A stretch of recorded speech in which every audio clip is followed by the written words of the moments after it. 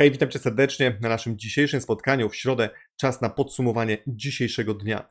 W tym dniu szczególnie czekamy na bardzo istotną i ważną informację płynącą z RPP odnośnie ewentualnej kolejnej podwyżki stóp procentowych. Ale zanim przejdę właśnie do tej informacji, to przypominam, że miałeś okazję oddać swój głos na karcie społeczność, gdzie sprawdzaliśmy, jakie są oczekiwania wśród widzów odnośnie ewentualnej podwyżki stóp procentowych i jak widzimy mamy 954 oddane głosy, stopy bez zmian 8%, o 25 punktów bazowych 35%, o 50 punktów 38%, o 75 10% i o 100 punktów 9% za każdy głos oddawany w każdej ankiecie. Duże dzięki, zapraszam do aktywności. A teraz już powoli będę przechodził do informacji, które w dniu dzisiejszym dla Ciebie przygotowałem, a w dalszej części naszego spotkania zobaczymy, co w tym momencie dzieje się na topowych rynkach zagranicznych oraz jak wyglądała dzisiejsza sesja na GPW. Jeżeli ta tematyka Cię interesuje, to zapraszam do pozostania, kliknięcia dzwoneczka, subskrypcji, aby YouTube informować o każdym kolejnym nowym nagraniu, a jak masz jakieś przemyślenia odnośnie obecnej sytuacji na rynkach w świecie, w Europie,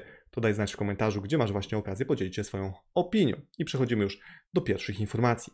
Amerykańskie firmy technologiczne otrzymały zakaz inwestowania w Chinach. Amerykańskie firmy technologiczne finansowane z budżetu państwa nie będą mogły w ciągu najbliższych 10 lat budować nowych zakładów produkcyjnych w Chinach. Ograniczenia wprowadzone przez Waszyngton mają służyć uniezależnieniu się USA od półprzewodników importowanych z Chin, poinformowała w środę stacja BBC.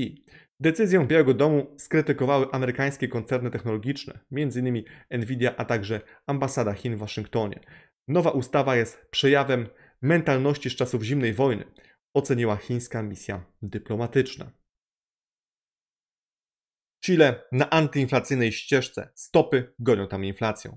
Bank Centralny Chile znów zaskoczył ekonomistów mocniejszą od oczekiwań podwyżką stóp procentowych. Cena pieniądza w tym andyjskim kraju osiągnęła już dwucyfrowy poziom i goni galopującą inflację CPI. W środę Bank Centralny Chile zdecydował się podnieść stopę procentową polityki monetarnej o 100 punktów bazowych do poziomu 10,75%. Decyzja nie zapadła jednogłośnie. Jeden z decydentów optował za podwyżką o 125 punktów bazowych, a jedna z osób zasiadających w Radzie chciała podnieść tylko o 75 punktów bazowych. Tu punktowa podwyżka zaskoczyła większość ekonomistów, którzy spodziewali się podwyżki o 75 punktów bazowych. To piąta podwyżka stóp procentowych w Chile od początku roku i dziewiąta w cyklu rozpoczętym w czerwcu ubiegłego roku. W efekcie koszt kredytu w banku centralnym osiągnął najwyższy poziom od 1998 roku. Tak drastyczne podwyżki cen pieniądza mają na celu zatrzymanie galopującej inflacji, która w lipcu została oszacowana przez rządowych statystyków na 13,1% i osiągnęła najwyższy poziom od 1994 roku. Ekonomiści sądzą, że w sierpniu inflacja CPI zbliżyła się już do 14%. Jeszcze rok temu chilijska inflacja wynosiła 4,8%, przekraczając 3% cel banku centralnego. Łotwa, Litwa i Estonia osiągnęły porozumienie w sprawie znacznego ograniczenia z pewnymi wyjątkami możliwości przekraczania granic przez obywateli Federacji Rosyjskiej posiadających unijne wizy Schengen. Oznajmił w środę na Twitterze szef łotewskiej dyplomacji. We wtorek Komisja Europejska wystąpiła z propozycją całkowitego zawieszenia porozumienia o ułatwieniach wizowych z Rosją. Inicjatywa to została uzgodniona w ubiegłym tygodniu przez ministrów spraw zagranicznych Unii Europejskiej w Pradze. Unia ma plan na walkę z drogą energią. Oto założenia. Tak więc zaraz zobaczymy serię informacji, ale popatrzmy na pierwszą. Szefowa Komisji Europejskiej poinformowała, że zaproponuje wprowadzenie w Unii Europejskiej obowiązkowego ograniczenia zużycia energii elektrycznej w godzinach szczytu oraz narzucenie limitu cenowego na rosyjski gaz. Komisja Europejska proponuje m.in. limit cenowy na rosyjski gaz. Cel tutaj jest bardzo jasny. Musimy obciąć dochody Rosji, które Putin wykorzystuje do finansowania tej okrutnej wojny z Ukrainą, powiedziała. Dodatkowo, co ważne, dodała też, że Komisja Europejska zaproponuje obowiązkowy cel ograniczenia zużycia energii elektrycznej w godzinach szczytu w Unii Europejskiej. Aby to osiągnąć, będziemy ściśle współpracować z państwami członkowskimi, powiedziała. Szefowa Komisji Europejskiej nazwała to inteligentnym oszczędzaniem energii elektrycznej. No i pytanie jest jedno: czy jesteś gotowy już na inteligentne przerwy w dostawach energii i jak zamierzasz się przed tym bronić? Może nawet sobie zrobimy kiedyś pod to jakąś ankietę, ale myślę, że to już jest ostatni dzwonek, żeby się zacząć nad tym zastanawiać. Popatrzmy dalej. Włosi będą oszczędzać energię rozsądnie, a nie drakońsko. Popatrzmy jak. Oszczędności energii we Włoszech będą rozsądne, a nie drakońskie, zapewnił we wtorek minister transformacji ekologicznej. W wywiadzie dla telewizji Rai oświadczył, pracujemy nad tym, aby wyrzeczenia dla Włochów były minimalne. Plan ogłoszony we wtorek przez ministerstwo przewiduje redukcję o 1 stopień ogrzewania budynków mieszkalnych i przemysłowych do 17 stopni Celsjusza z marginesem tolerancji 2 stopni. W przypadku pozostałych budynków ma to być 19 stopni z marginesem tolerancji 2 stopnie. Ponadto sezon grzewczy ma być krótszy o 15 dni. Budynki będą ogrzewane o 1 godzinę krócej dziennie. Ministerstwo oszacowało, że kroki te zmniejszą zużycie gazu o 5,3 miliarda metrów sześciennych. Dodatkowo Poza tym resort rekomenduje całkowite wyłączanie odbiorników telewizyjnych i dekoderów. Ciekawe, jakie u nas w przyszłości pojawią się delikatne rekomendacje, a jak one nie pomogą, to pytanie, jakie będą decyzje podejmowane, aby i tak i tak osiągnąć swój cel. Jak Ci się wydaje, daj znać w komentarzu. Lećmy dalej. Europejski Bank Inwestycyjny przeznaczy do 10 miliardów euro na wsparcie obszarów najbardziej dotkniętych skutkami odchodzenia od paliw kopalnych, poinformował w środę EBI. W Polsce pomoc taka w ramach mechanizmu sprawiedliwej transformacji może trafić do 9 regionów. Średni roczny rachunek za energię wyższy niż płaca minimalna w 16 krajach Unii Europejskiej i warto się z tym zapoznać. Średni roczny rachunek za energię w 16 krajach Unii Europejskiej jest wyższy niż miesięczna płaca dla osób pracujących z najniższymi zarobkami. Dobrze słyszałeś. Ujawniła to Europejska Konfederacja Związków Zawodowych. Organizacja zrzeszająca związki zawodowe w Europie informuje agencja belga. Pracownicy pracujący za najniższe pensje w 16 krajach europejskich muszą odłożyć pełną miesięczną pensję, aby móc opłacić rachunki za energię. Dane pokazują, że w Belgii pracownicy o najniższych zarobkach muszą teraz pracować 37 dni, aby zapłacić roczny rachunek za energię elektryczną i gaz. W Holandii jest to 48 dni, w Niemczech 33 dni. Pozostałe kraje to Francja, Rumunia, Węgry, Portugalia, Bułgaria, Irlandia, Łotwa, Chorwacja, Hiszpania, Słowacja, Grecja, Estonia i Czechy. Ministrowie energetyki Unii Europejskiej spotykają się w piątek, aby omówić możliwe środki zaradzenia wysokim ceną energii, takie jak na przykład pułap cenowy dla gazu. No i pytanie, kiedy my znajdziemy się już w tej czołówce no bo raczej nie mamy wątpliwości, że pewnie taki będzie długotrwały cel wielkich tego świata. Popatrzmy dalej. Samorządy czeka finansowe tsunami, nawet 30 miliardów złotych więcej na rachunki za prąd. Kilkaset procent więcej za energię elektryczną. Takie propozycje właśnie trafiają do gmin i powiatów. Włodarze alarmują, że przy takich stawkach zagrożona jest realizacja usług publicznych.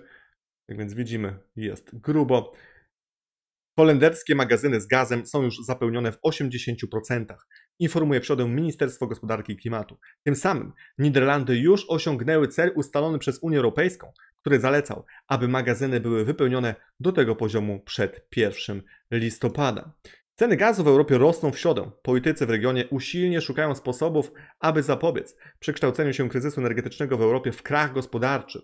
Benchmarkowe kontrakty na gaz w Amsterdamie są wyceniane wyżej o 3%, po 247 euro za megawattogodzinę i zwyżce w poniedziałek na zakończenie handlu o 15%.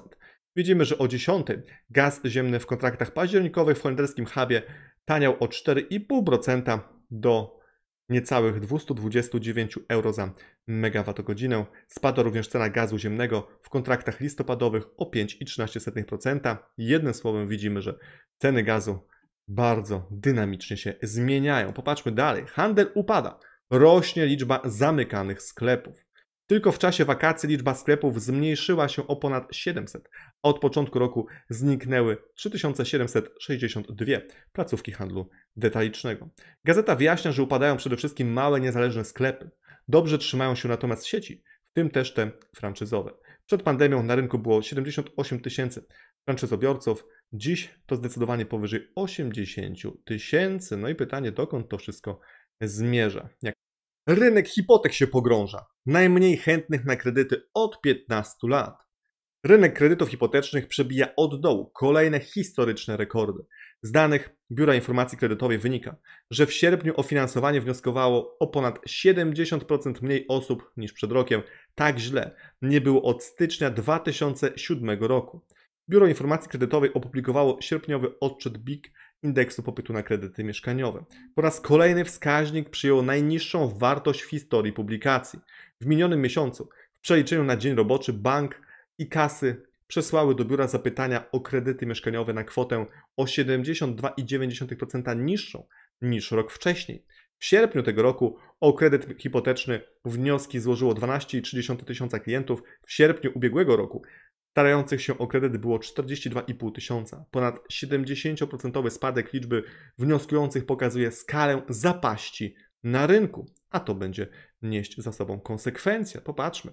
Locum Developer ze względu na spadek popytu zamierza wstrzymać nowe inwestycje i szacuje, że na koniec tego roku liczba sprzedanych mieszkań będzie o połowę niższa niż w 2021 roku. Spółka spodziewa się, że strata po pierwszym półroczu 2022 roku będzie niwelowana w kolejnych kwartałach, poinformował zarząd Locum Developer na konferencji. No pytanie, jak sobie poradzi ten sektor tych obecnych czasach. Lećmy dalej. Czarne chmury zbierają się nad złotem. Otoczenie zewnętrzne staje się coraz bardziej niekorzystne dla złotego. Dodatkowo polska waluta może utracić wsparcie w postaci polityki monetarnej NBP. Według analityków kurs euro może zaatakować sierpniowy szczyt. Jak będzie? Czas oczywiście pokaże. Przypominam, że jutro poznamy decyzję EBC o ewentualnej kolejnej podwyżce stóp procentowych i to też będzie wpływać na to, co będzie się działo z kursem euro a za chwilę zobaczymy, jak teraz radzi sobie złoty do poszczególnych walut. Lećmy dalej. Na koniec sierpnia tego roku oficjalne aktywa rezerwowe Polski zarządzane przez NBP wynosiły 155,1 miliarda euro, a w przeliczeniu na dolary amerykańskie 154,8 miliarda dolarów, poinformował w środę Narodowy Bank Polski. JSW rozpoczyna nowe programy redukcji emisji metanu. Ich budżet to około 23 miliony euro. Pierwszy z projektów, program redukcji emisji metanu, ma budżet około 22 milionów euro, z czego połowę sfinansują środki unijne. W należącej do JSW kopalni Pniówek powstanie pierwsza w świecie dedykowana instalacja służąca redukcji emisji metanu do atmosfery z opuszczonych rejonów pracującej kopalni. Pozyskany ze zrobów poeksploatacyjnych metan wykorzystany zostanie do produkcji energii elektrycznej w silnikach gazowych połączonych z generatorami prądu. Ciekawe rozwiązanie.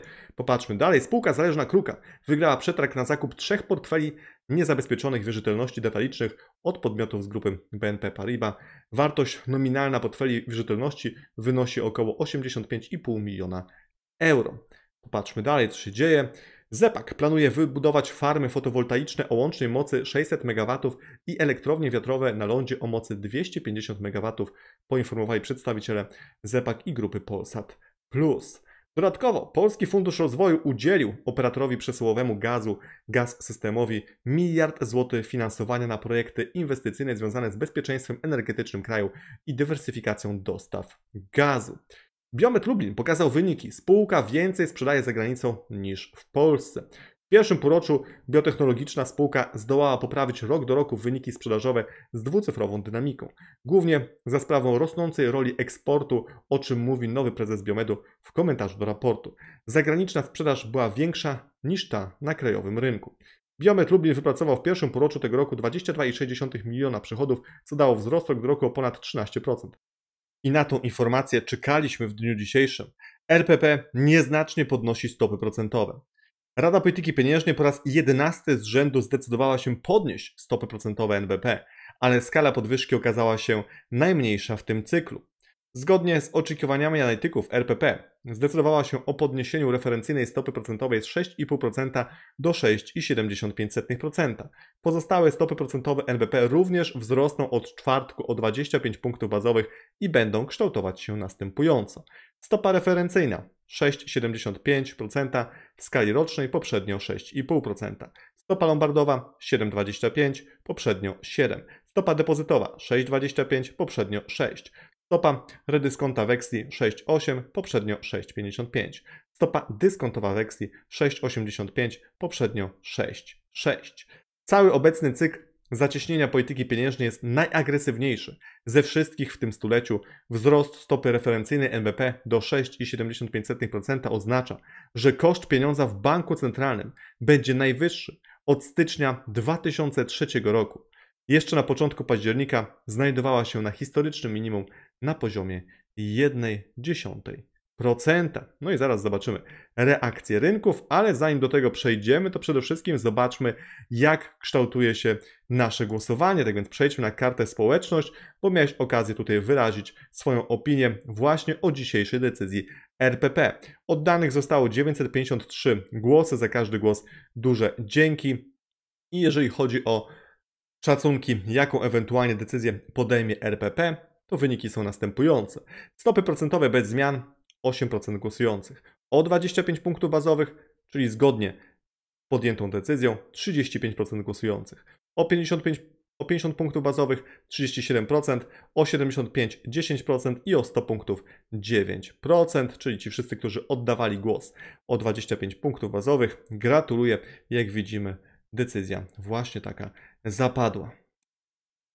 I zobaczmy, jakie nastroje panują w tym momencie na rynkach zagranicznych. Widzimy, że na indeksie strachu i chciwości mamy poziom 40 i strach dominuje, a przypominam, że jutro bardzo istotne wydarzenie dla rynku, gdyż poznamy decyzję EBC o być może kolejnej podwyżce stóp procentowych. I zobaczmy na nastroje panujące na świecie, jak to wyglądało w dniu dzisiejszym. Japonia w czerwieni, Tajwan podobnie, Australia podobnie. Widzimy, że Europa się podzieliła, Meksyk również podzielony razem z Kanadą, Brazylia dzisiaj wyprzedaje akcje. Jeżeli chodzi o S&P 500, to w tym momencie, jak widzimy, mamy sektory, które wyraźnie są pod kreską, ale również mamy takie, które walczą o dzisiejszy dzień. Na przykład Tesla dziś odbijał 1,5%, Meta za to traci 1% i jak widzimy na przykład AMD niecałe 2% na minusie, Microsoft ponad procent na minusie, no to zobaczmy jak wyglądają w tym momencie topowe indeksy. Ropa tanieje i to popatrzmy, w którym miejscu się obecnie znajdujemy. Jest poniżej 90 dolarów za baryłkę, bardzo ciekawe. Jeżeli chodzi o DAXa, DAX wyciąga do góry 12 881 punktów, S&P 500 również próba wyciągnięcia, oczywiście walczyć będą do ostatnich sekund. Zobaczymy 3929, SN Nasdaq również na plusie 12 771 punktów i Dow Jones też na plusie 31 300 punktów. Russell, małe spółki też wyciągają 1800 punktów i zobaczmy metale. Srebro na plusie 18 dolarów 26 centów za uncję, złoto na plusie 1712 dolarów za uncję i waluty do złotówki. Frank w zatrzymaniu 4,83, funt mocno w dół 5,44, euro w dół 4,72 i dolar w dół 4,74. Euro-dolar, zobaczmy, blisko parytetu. Dzisiaj dosyć ciekawe odbicie.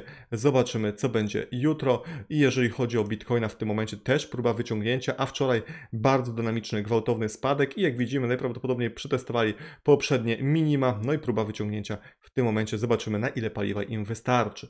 Wróćmy jeszcze do tych innych ważnych e, tutaj również walorów. Na przykład e, rubel. Tutaj widzimy, że cały czas konsoliduje i w dniu dzisiejszym się umacnia. Ale jeżeli chodzi na przykład o miedź, to również widzimy, ciekawe odbicie po tych ostatnich spadkach na COMEX. I jeżeli chodzi o kontrakt terminowy na gaz naturalny, również widzimy, że gaz w tym momencie tanieje. Też bardzo ciekawa sytuacja.